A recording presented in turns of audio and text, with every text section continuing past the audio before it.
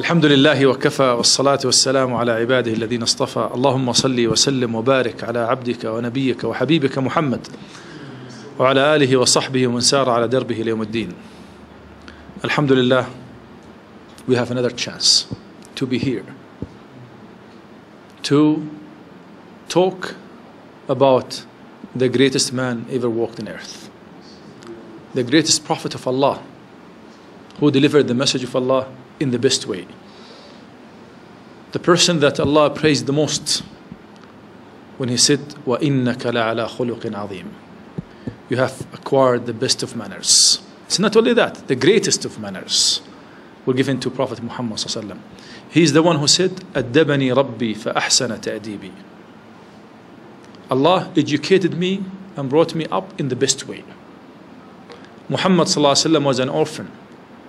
No father, no mother. But Allah nominated him to be the best of humanity, if not of creation. So we continue talking about this great personality.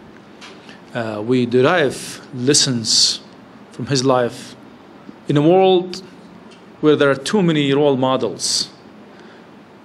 And I'm saying to say, worthless role models that are driving people one direction into another. They need guidance themselves. Wallah, they need to be guided. But because of this, the glamour of this materialistic world, we don't recognize the real role models that we should really take for ourselves, for our families, for our children, for the whole people. So Muhammad wasallam will continue to be the choice, the only choice for humanity to be uplifted, for humanity to be guided, for humanity to find its own way.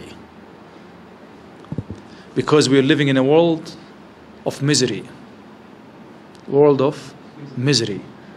All aspects of injustice are practiced. All aspects of hatred are spread. All aspects of uh, inhumanity are really spreading we need to be humans again. We need to be humans again. If you have a talk, you could talk to me directly, brothers, okay? Uh, today, we'll talk about the reason for being here, why we're here. Here. Why you are here. Okay? So, this is a question that we need to listen to and have an answer to. Because if we don't have a goal, real aim, what we're learning for, then it will be waste of time. Yes, we know it's great and blessing to sit together and talk about good things, but we need that to be reflected in our lives. Uh, we are supposed to be da'iyas, mean people who call for the sake of Allah. They are not calling for any other materialistic benefit, but to deliver the message of Allah to others. And this is something that we agreed upon last time with our colleagues if we pass the message to one person, if Brother Mark attending today and he liked something, okay, in the personality of Prophet Muhammad he would pass it to just one person. If Engineer Saeed was here and he just listened to something in the life of Prophet Muhammad that he felt touching his heart and mind, he just say it to another colleague. So by this way, we spread the knowledge that we gain. And that way, we turn to be from being receptive, passive recipients, participants, to be active participant, to, to have our own role in life. The whole world is in need of what we do here. And if we don't feel that, we shouldn't be here.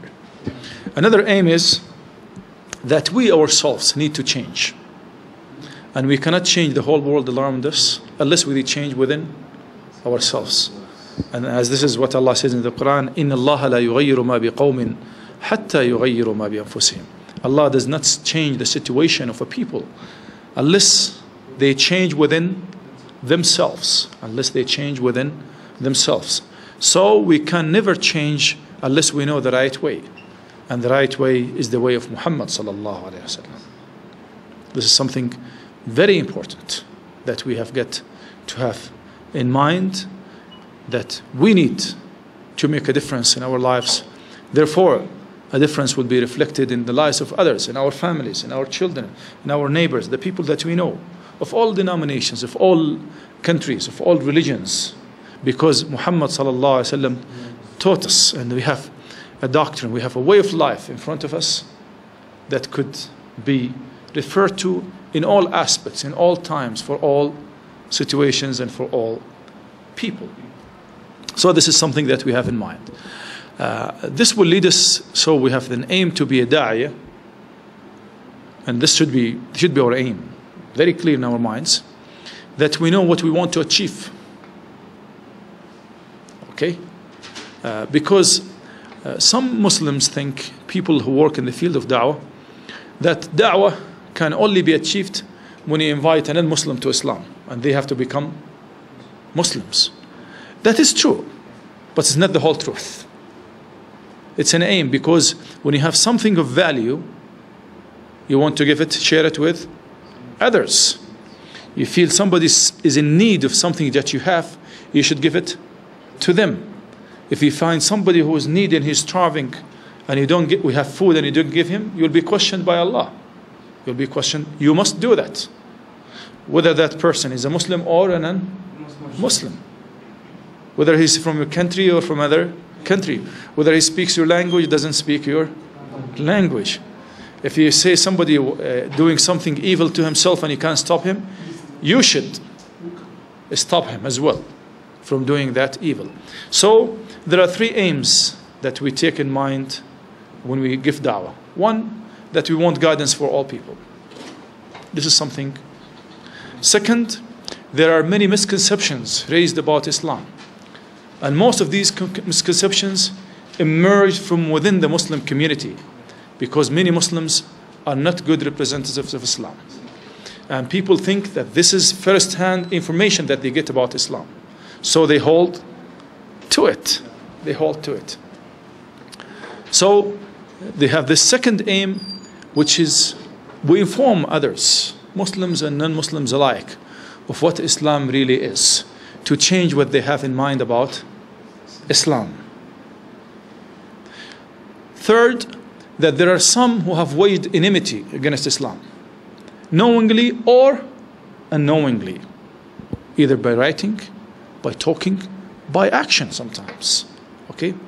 Those people need to be neutralized. How? Okay? An ignorant person or person who is not having knowledge, and for example, I, I hate brother, uh, what's your name? Ahmed. Keep remembering. For example, for no reason or wrong information, he would come to me and could correct that information for me. So that will change my own perspective. That enmity will be neutralized, will disappear. Okay? And uh, sometimes I have a position towards you, and you need to convince me that I'm not right. That I'm not right. That this is not true. And this is through dialogue. And this is what Allah subhanahu wa ta'ala says in the Quran, which is a high level of delivering the message to others, giving da'wah. وادعو إلى سبيل ربك بالحكمة والموعظة الحسنة وجادلهم بالتي هي أحسن. Call for the way of your Lord, the way of Allah, with wisdom and good speech. And when you debate, you debate in the best way. You create a dialogue in the best. This is the procedure that we should have in mind, the aims that we need to achieve in ourselves. And let's keep that in mind, whenever we meet, that this is what we want to do. How every meeting that we have should lead to something.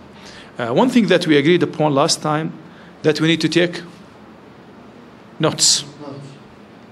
علم الإنسان ما لم يعلم علم الإنسان بالقلم he taught man with the pen so if we come and listen and we go we'll forget uh, sometimes you have a question to write it down uh, a point that you would like to raise uh, later on these notes that we collect will be of great value to us not because I'm here but because of the discussion sometimes that we raise and the topics that are uh, handled. Okay, so uh, this will be the introduction for today's, uh, inshallah, meeting.